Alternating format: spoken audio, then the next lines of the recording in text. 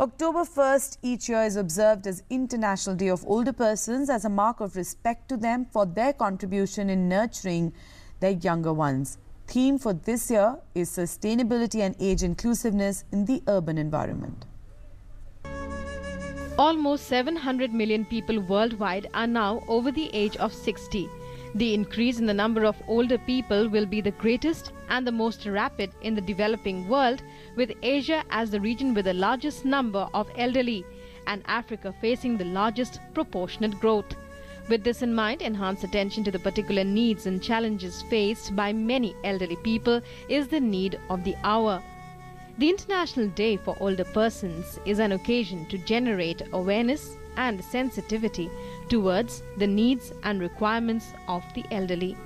On the 14th December 1990, the United Nations General Assembly designated the 1st of October as the International Day of Older Persons. The theme for 2015 is sustainability and age inclusiveness in the urban environment. This year's celebration will focus not only on the impact of the new urban environment on older persons, but also the impact of older persons on the new urban environment. We can best demonstrate our gratitude towards senior citizens by ensuring that the communities become favorable and friendly to them, places in which older people can participate to the fullest and can find the encouragement, acceptance, assistance, and services they need to continue to lead lives of independence and dignity.